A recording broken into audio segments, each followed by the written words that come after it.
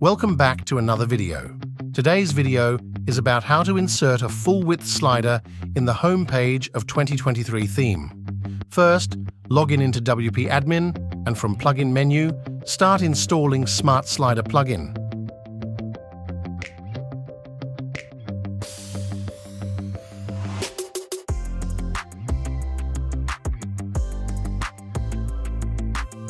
Install and activate. Here, I have already installed and activated. Next go to the left side menu, Smart Slider, and select Dashboard to create a simple slider. Here, click on New Project. Create a new project. Select Project Type, Slider. Slider Type, Simple, and name the slider project. Here I have given my Home slider. Select Layout Full Width and click on Create button.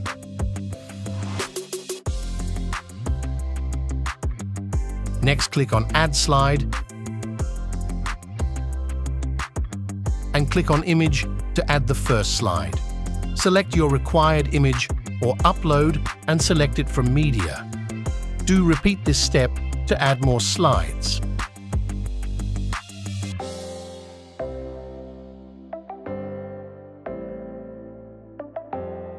You can see the preview here by clicking on the eye icon.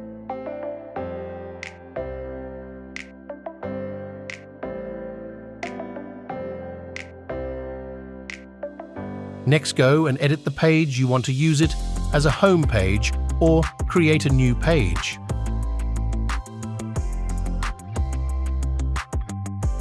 Click on plus icon and search for Smart Slider Block. Now click on Select Slider and select the one you have recently created and click on Insert it will display automatically in full width. Move the slider block to the top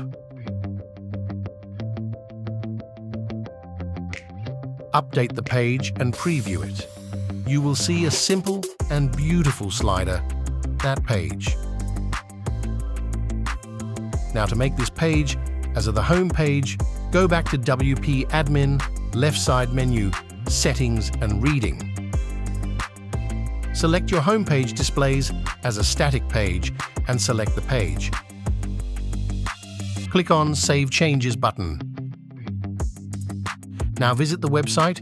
You will see this page as the home page. Thank you for watching. We'll see you again in another wonderful video.